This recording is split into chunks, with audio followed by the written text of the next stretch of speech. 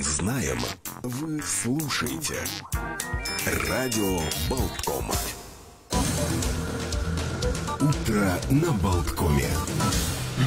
Всем доброе утро, здравствуйте. Продолжается утро на Болткоме. Олег Пек, Александр Шунин вместе с вами. Вот уже долгие годы в Латвии нет обязательной военной службы. И э, вообще, в принципе, считалось, что э, профессиональная армия – это тенденция вот современного мира, и что переход от э, всеобщей воинской обязанности к более узкой, такой профессиональной, узкой специализации военного дела – это говорит о ну, современном уровне армии. Тем не менее, вот мы видим, что бросает вызовы нам вот то, что происходит нынче в мире, и вот высказал господин Пабрикс инициативу о том, что необходимо вернуть э, обязательно военную службу. Да, в течение э, пяти лет э, вот, сделать переход к обязательной службе. На первом этапе ряды национальных вооруженных сил ожидается пополнит тысячи новобранцев, причем в первый же год, а в целом через пять лет мы бы хотели иметь, это по словам министра обороны Пабрикса,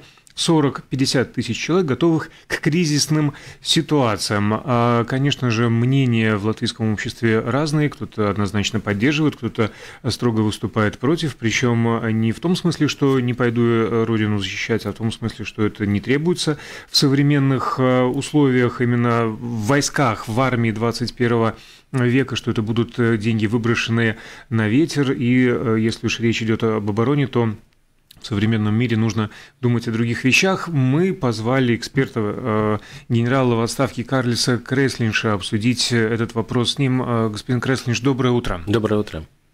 Доброе утро. Прежде всего, первый вопрос. Э, вам, как профессионалу, оцените, пожалуйста, идею господина Пабрикса. Как вы считаете, правильно ли она? Я оценю, но я немножко, э, так сказать, приведу некоторые факты. Э, когда была финская э, война, финны свою независимость сохранили. И с этого времени они все время придерживаются тотальной обороне. Первое. Второе. Латвии перед 40 году было, тратили Караминистрия, военное министерство, 25% от бюджета, от бюджета в среднем. Было 140 тысяч человек могли вооружить. Было 60 тысяч айсарги, ну как земесадцы сейчас, угу. которые получали деньги не из военного министерства. Вот это факты. Результат мы знаем какой. Следующий момент. 1993 году я написал научно-исследовательскую работу, какие должны быть национальные вооруженные силы и послал в НАТО. Ну, там НАТО конкурс. Я выиграл этот конкурс, получил премию в 7 тысяч. Какие должны быть вооруженные силы? Но это было до вступления. Пойдем дальше. Когда я стал начальником пятого департамента, его создавал и стал это политики планировать департамент, мы рассчитали, как должны развиваться вооруженные силы, как получить для военного времени 50 тысяч. Эта вся информация есть вот в этой книге. Вот сказал под Латвии. Домашняя моей странице эта книга есть, может любой посчитать. Там было рассчитано в год, сколько надо готовить офицеров, прапорщиков, сержантов, цивильных, таких рядовых – и по годам было все рассчитано. Все это было и связано с деньгами. Все это было. Но это было до вступления. И последний момент, когда уже мы вступили в НАТО, я вместе с генералом э, литовской армии, командиром литовской а, армии, Грибав, нет, извиняюсь, э, с генералом мы были в Бал Defense College и читали лекции. У него было э, лекция «Чем отличается тотальная оборона от коллективной умной обороны?» И там были следующие заключения. Тоже эти материалы есть и в интернете, и все можно заключить. Э, э, срочная военная служба, а, ну, обязательная военная служба. Это как вот в одной и другой ситуации. Его, его вывод был такой. В принципе, срочная военная служба может быть и при коллективной обороне, и при тотальной обороне. Ну, это у кого какие деньги, какие возможности. Но там несколько пунктов. Но одно из главных было, э, был этот пункт, что создавать большие резервы при коллективной обороне – это бессмысленно. Бессмысленно. И вывод его был, его лекции, можно сказать, такой. Коллективные силы обороны могут вести территориальную защиту. Территориальные э, силы не могут вести коллективную оборону. Это его вывод, ну там было несколько, я с этим согласен. Так что, в принципе, вопрос заключается в том, что мы вот после 2006 года, когда при, мы отказались от э, срочной службы обязательной, мы тогда, я считаю, это обоснованно отказались от это, этого всего дела. И мы ввели вместо этого в школе, ну не вместо этого, но в связи с этим, в школе военное это обучение. Но она еще вводится. Я еще был в парламенте, когда начали вводить. Я считаю, это очень удачный был ход. Что это знакомит как бы молодых людей, что такое воинская служба и так далее, как развести костер в лесу, как выживать и, и спать в лесу и так далее. Какие-то основы и дальше, конечно, есть Яунсардзе, Земесардзе. Это возможность людей участвовать э, в системе обороны, э, обороны Латвии. Но здесь нужно отличать. Вот тут есть это отличие, что есть коллективная умная оборона и есть тотальная. И мне возникает вопрос, почему так много э, уделяют без анализа внимания, скажем, то, что учиться надо, то, что происходит в Украине – ну, мы можем, конечно, и раньше смотреть. Приднестровье, Грузия, в Украине, начиная с 2014 года и сейчас. Но эти страны не натовские страны. Это не НАТО. И это не, не, НАТО, уча, не НАТО участвует прямую в боевых действиях. Если учить говорить, и это многие высказывали, ну и подумайте, любой человек, подумайте о том, если брать, я, я не говорю сейчас про Э, такое кодолакару, ядерное оружие, применение такое большого масштаба или тактическое ядерное оружие. Пока ядерное я откладываю в сторону. Конвенциальная война.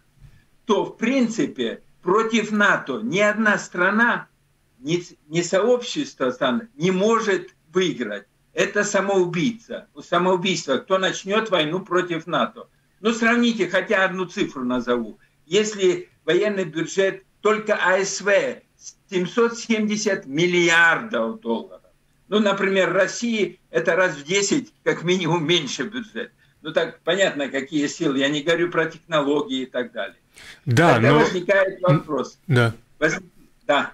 При, при всем при этом э, с вами невозможно не согласиться, но ведь речь, если я правильно понимаю, поправьте, если ошибаюсь, Речь идет о том, чтобы, ну, грубо говоря, продержаться то время, пока не подойдут остальные силы. Вот эта коллективная оборона, тот самый пресловутый пятый пункт. Если, не дай бог, нападут, что мы будем делать, сколько у нас есть условных штыков, и умеют ли люди этими самыми условными штыками обращаться? Хорошо. Отвечаю на вопрос. Вот это тоже у людей создают неправильное впечатление. Пункт первый. Я служил в авиации. И в авиации разные степени готовности. Начиная сидишь дома, сидишь в аэродроме, сидишь в самолете, находишься в воздухе. Это разные степени готовности. Значит, сейчас НАТО есть НАТО силы реагирования. Есть, в принципе, и НАТО мгновенного реагирования, когда там 48 часов и так далее. В принципе, когда я был и начальником штаба, я говорил о этом плане, оперативный план, как там защищаться и так далее – Ответ у меня был с Брюсселя очень простой, с натовского штаба, что в принципе информация разведывательная будет достаточно, чтобы к этому времени подвести силы, уже подготовиться. Это вот один момент. И нам надо быть готовым, чтобы мы, как принимающая э, страна, если что-то случится, и такие учения мы проводили тогда, чтобы мы знали порты, аэропорты, железные дороги, дороги, где размещать вот когда придут на помощь, это должно быть готово. Вот это очень важно. А дальше насчет времени. Ну давайте вот времени посмотрим. Вы сейчас объявите тревогу и посмотрите, за какое время может земесарс, который работает в сельском хозяйстве или в строителе, за какое время он может прийти, стать в свой батальон и защищаться. Okay. Но я считаю, что в принципе, я как сказал, самоубийца, человек, террорист, это да, известно, сколько хочешь, но чтобы страна начинала, зная, что она проиграет. Или НАТО уже отказалась от того, что она будет все участвовать, все силы, потому что мне очень поразило то, что на НАТО-саммите премьер-министр Эстонии сказал насчет 180 дней. Угу. Это как вообще непонятно тогда. Что НАТО изменило, уже нету коллективной умной обороны. Что такое случилось? Какие 180 дней? Если должен ответ быть мгновенный, в принципе, ракеты, самолеты и так далее, эти 300 тысяч, которые, они в готовности. Ну ладно, не мгновенно, не за час прилетят, но прилетят. И кто начинает эту агрессию, надо ему понимать, что ответ будет, и ты будешь уничтожен. Ну, силы-то не, не, не одинаковые. Это не Украина. Еще раз говорю, это не Украина. Где, в принципе, силы, конечно, Украины были даже поменьше, чем сосредоточено у ее границ. Это не Украина. И технологии, техники и так далее, что имеется у НАТО стран, это однозначно э, удар будет, и враг кто посмеет напасть на территорию натовской страны, будет уничтожен. Если говорить, могут захватить, могут. Латвию могут это за пару часов, за сутки может захватить и ничего не среагируешь. Только последствия какие будут. Конечно, можно ракеты пустить по Ригу и Ригу уничтожить. У нас сейчас самолеты летают, это, ну, натовских наших, какая-то умная оборона. Не наши самолеты истребить, но других ну, такого система, чтобы перехватила ракеты и все, которые полетят, если захотят пускать в большом количестве, конечно, невозможно. Только вопрос заключается, какая цель нападающей стороны, что достигнуть. Что достигнуть? Ты после этого будешь уничтожен. Ну что, я говорю, самоубийца человек, да, у него там свои мысли. А самоубийца страна, это я не считаю, что не может. Э, таким образом, э, вывод э, Получается, что усиление контингента НАТО – это более действенная мера, чем тратить десятки миллионов а, на обязательную военную службу, на, по, на ваш взгляд. Так? Сто процентов. Потому что это, конечно, это неплохо. Вот я как говорю и как говорил Кранкайтис, Кранкайтис, генерал литовский, который пришел с Америки, командиром литовских вооруженных сил – Конечно, можно призывать срочную службу, все это проходить, это можно, но это стоит деньги довольно большие. Рационально ли, кост-эффектив, насколько будет это эффективно использованы эти деньги, что в других местах, ну, если есть денег, столько, сколько никогда не было, ну окей, можем и такое делать. Но я считаю, что, в принципе, надо о другом. Вот то, что базы, сейчас полигон надо дополнительно строить, то, что мы должны быть готовы при необходимости принять, как я говорил, порты и так далее, дороги, железные дороги, склады и так далее. Это да, это надо тратить. Надо э, тратить, конечно, киберзащиту и так далее. Это в той области, где технологии и так далее. Это все надо. И профессиональную армию надо подготовить на высоком уровне, что это действительно были профессионалы. Создать бригаду, что и командир говорил, и об этом был разговор, что бригада была из профессионалов. Да, это дело. Потому что есть разные миссии, которые в мире надо будет участвовать или так далее. Вот э, решение ОНО, э, АФИН, вот у нас объединен ООН, угу. решение, и НАТО может, так сказать, давать свои силы, чтобы исполнить решение ООН. Да, там посылать надо вооруженные силы. Что, раньше мы, Балтбат был, Балтийского батальона, роту посылали, там батальон. А сейчас может быть и бригада, да, развивается. Но это профессионалы. То, что Земесардзе иногда там участвует, но они тогда тоже тренируются, они переходят реально на то время, как стадию профессионалов. Это тоже надо не путать. То, что он пришел, откуда пришел, это одно дело. В принципе, они готовятся как профессионалы, чтобы участвовать в таких миротворческих миссиях. И продолжение вот э, обучения в школе, это, в принципе, тоже хорошее. Э... Это очень хорошее. Это сто процентов я поддерживаю. Это очень хорошее. потому что молодые люди, девушки, и мальчики, ну, должны познакомиться, что такое есть и, и оружие, я говорю, они не только оружие, это уже в старших классах, а так, в принципе, как в лесу, как костер развести, как выжить, ну, как там палатки развести. Им надо такие навыки в жизни, это всегда пригодится. И, значит, понять, а что такое страна, что есть защита страны, что так происходит, и такое обучение тоже. Ну, в принципе, в последних классах они имеют там э, с воздушных, с мелкокалиберных винтовок и стрелять учатся, и потом кто-то из них захочет продолжить службу или в СМСР, или пойти в академию и стать профессиональным военным. Окей, я очень это поддерживаю. Ну вот как Литве, раз... как... Да, извиняюсь да, еще. Да, да, да. В Литве когда ввели как бы добровольную э, срочную службу, и мы там были с парламента в Литве, я спрашивал, а почему вы это ввели? Они сказали, мы ввели того, чтобы не могли рекрутировать необходимое количество военных, вот. военных для, для профессиональной армии. Но сегодня утром я слушал командир тоже по латвийской первой программе сказал, это проблема. Да, ну и... да, это возможно. Но то, то, то есть это не самый дешевый, лучший способ, чтобы рекрутировать, чтобы заставить почти всех, ну или призывать всех проходить службу, ну и кто-то, может, надумает. Но я говорю, как в школах обучения есть другие способы. Именно, как... именно об этом я как раз и хотел э, спросить вашего мнения. Э, слова Леонида Калнинша, э, командира национальных вооруженных сил, который сказал, что да, последний год проблема с рекрутированием, обычно человек 300, а в этом пока 98. Э, все, что вы говорите, оно прекрасно в мирное время и не обязательно как раз-таки, а, а контрактная служба – это хорошая может быть, карьера э, для молодых людей и девушек в том числе, но что делать в такие кризисные ситуации, как э, сейчас, и как раз по словам э, Калнинша, предложение Пабрикса – это очень хороший способ привлечь людей к обороне стране добровольно-принудительно, что называется. В этой связи, ну, есть пример Израиля. Там служат все в обязательном порядке – и мальчики, и девочки, потому что э, война, в принципе, она не кончается, она там каждый день.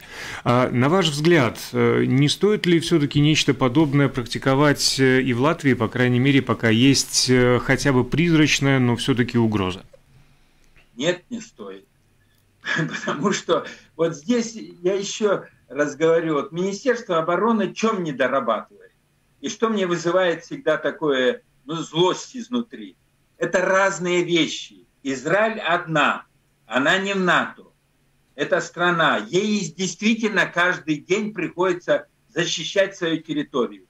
Это было и Финляндии, когда она сама защищала, и после этого она тотальную оборону. Она привлекала, она готовилась к тому, что ей одной большой вероятностью придется защищать свою территорию. Это одна ситуация.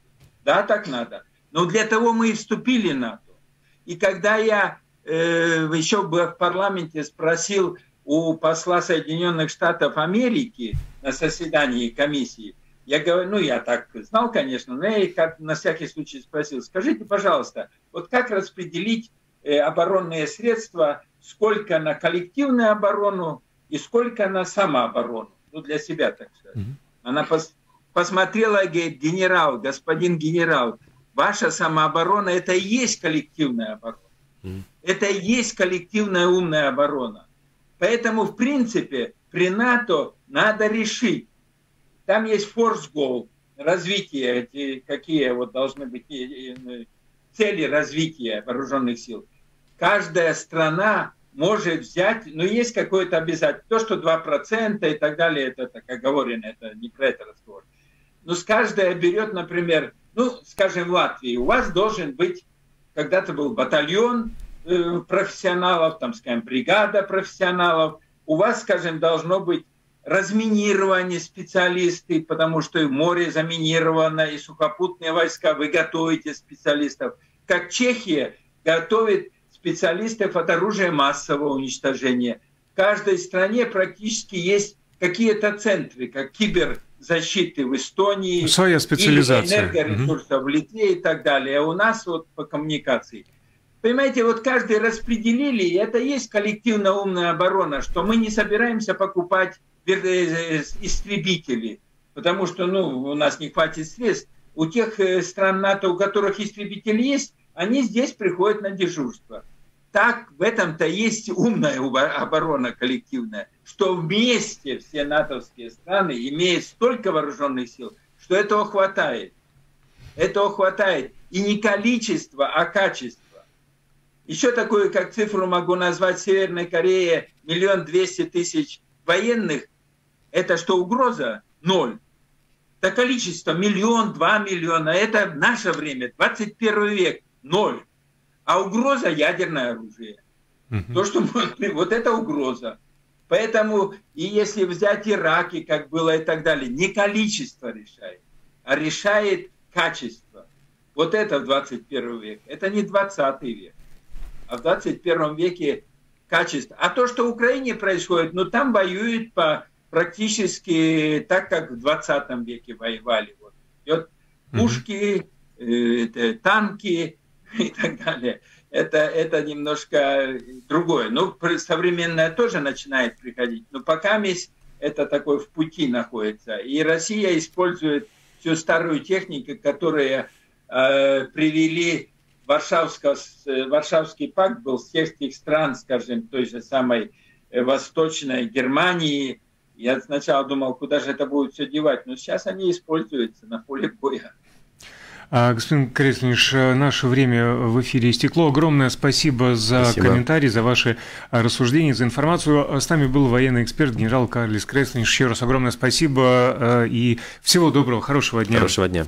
Спасибо вам, вам тоже всего хорошего. Радио Болткома.